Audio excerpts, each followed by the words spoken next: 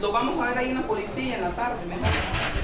El Ministerio Público solicitó a la juez de distrito de audiencias de Estelí que se mantenga la prisión preventiva para José Andrés Casco Hurtado o Kelwin Casco Carey, mientras se lleva a cabo el juicio en su contra por el delito de asesinato en contra de tres personas, entre estas una menor de edad. Como la niña describe los hechos de la siguiente manera.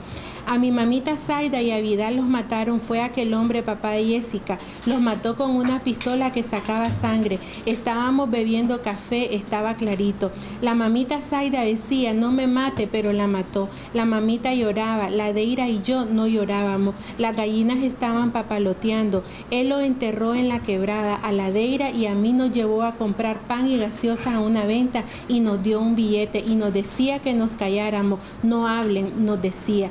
Ese hombre de Jessica mató a la Deira con un cuchillo, se lo puso en las costillas, él se llenó todito de sangre. En ese sentido, el Ministerio Público le solicita a usted también que mantenga la medida cautelar de prisión preventiva para el acusado.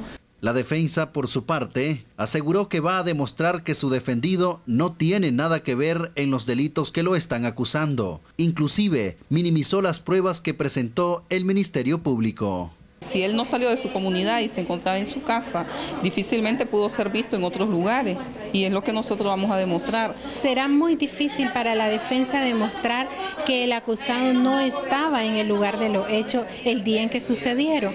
El Ministerio Público cuenta con prueba testifical, prueba pericial, prueba científica que lo ubica al acusado en el lugar de los hechos.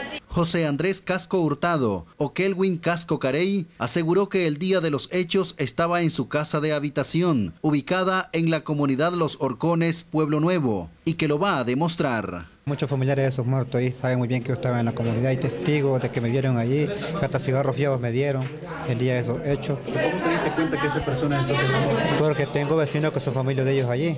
Al finalizar la audiencia, así dictó la juez. Se ratifica y se mantiene la medida cautelar de prisión preventiva para el acusado.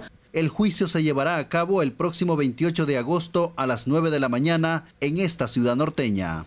Desde Estelí, en imágenes Jairo Leiva, les informó Jimmy Alvarado.